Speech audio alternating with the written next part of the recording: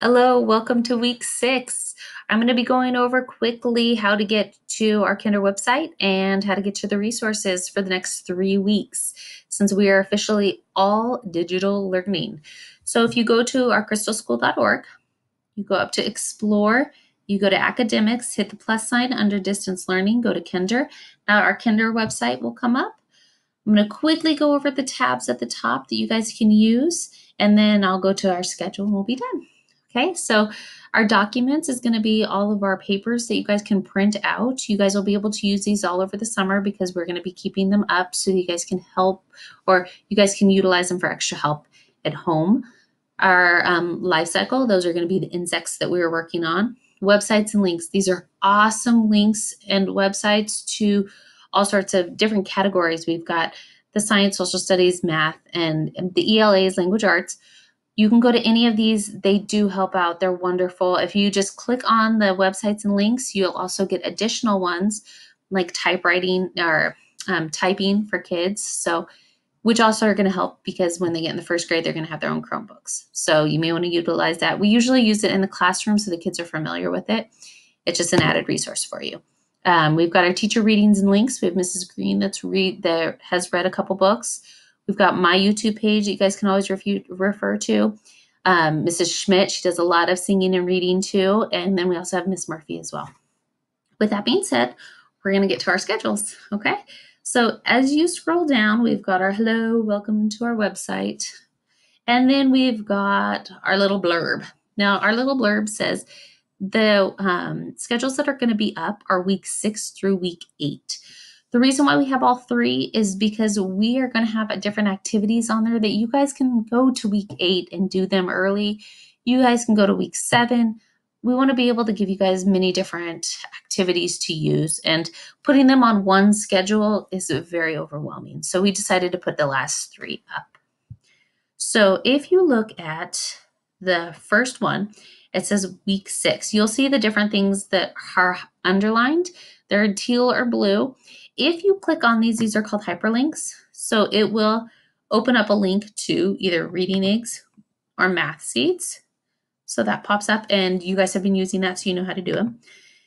We will not have any assignments for reading eggs or math seeds for the remainder of the school year, which is the next three weeks. So the kids can actually go in and they can work on their normal assignments or their normal lessons like they would do in class. Just go to the little guy with the little egg and then they can click on the lesson and just keep going.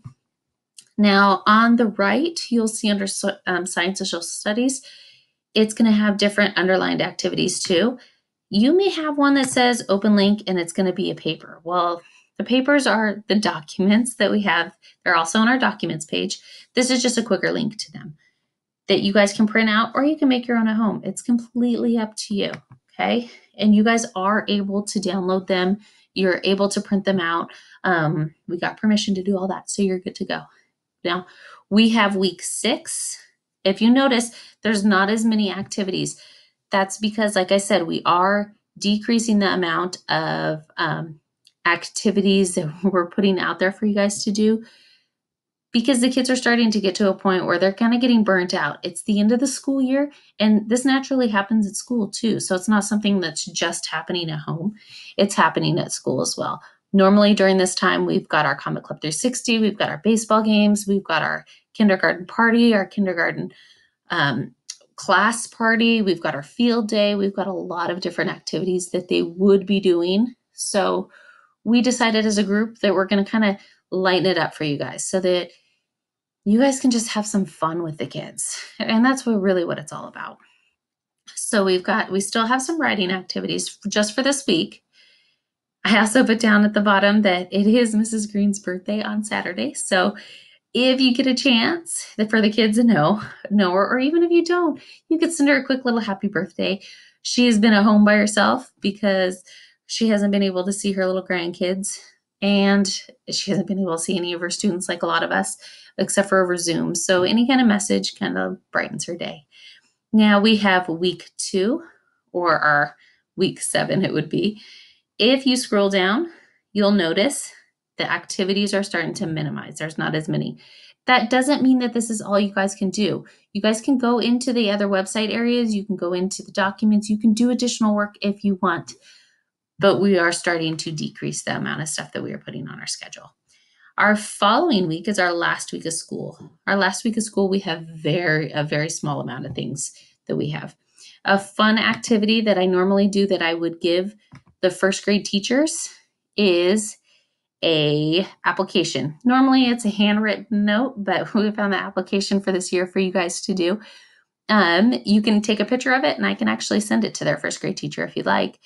You just have them fill it out and then it gives them an opportunity just to say hi before the school year even starts. And it says a nice little uh, note or um, something about themselves that they want to share with their teacher. And we also have another activity which we added on here, which is brand new to everybody because this has to do with the times that we're in. It's called Time Capsule. This is about the situation we're currently in. This kind of helps the kids so that they have it as a memory book of what they're going through now because they're not going to remember when they're older. But it is something fun for them to refer back to as they're older and just say, oh, this is what was happening. It has everything from what they look like, what they liked, how tall they were, how they were feeling, what was going on around them, their handprint, um, special occasions, since I know a lot of you guys had either birthdays or anniversaries that happened. You guys can write them down there and how you guys celebrated being quarantined or um, isolated in your houses. So you've got a letter to self. You can have the kids, um, you could help the kids actually or they can write it themselves, write a letter to themselves as they're older or as them young, writing to them as an older person. Now, interviewing the parents. And the last one is a note from their parents. Now, you can write this just to them and let them know what's going on, how you are feeling, how things were, um, how school was, how, how your life changed. Just something fun for them to refer back to. This is just an added little extra that we had put at the end. Now, this last week of school, we have nothing going on on Friday because they're officially first graders. And their last day of school would be Thursday. Now, their last day of school would normally be me reading a book to them, us doing our um, memory books, me handing them out, and a little party. And the parents would end up taking their kids home early. So we didn't put a lot on there, just play and have fun. That Sunday is actually Mrs. Schmidt's birthday. So if you guys wanted to send a nice little happy birthday or happy future birthday to, to Mrs. Schmidt, you can write down here. Her little email address is down there. But this is for the next three weeks. Um, the last week of school or the second to last week of school, we're not quite for sure, week seven and week eight. We are currently working with the school to find out when we can hand out the leprechaun traps and um, our memory books, which we are making for you guys, and all of the their pencil boxes and stuff. So we'll get that information out to you guys as soon as we know. But as of for right now, just expect to be getting word within the week or two of how we're going to be getting that information back to you guys. I hope you guys have a wonderful week. We, again, will not be doing any assignments for Math Seeds or Reading Eggs. I will be doing the Zoom on Tuesday at 2 o'clock. It's just going to be a short Zoom. We're going to read a book, do Go Noodle, and then that's it. Okay.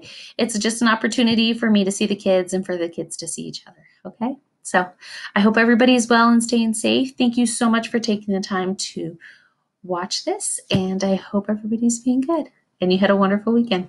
Thank you so much. Bye.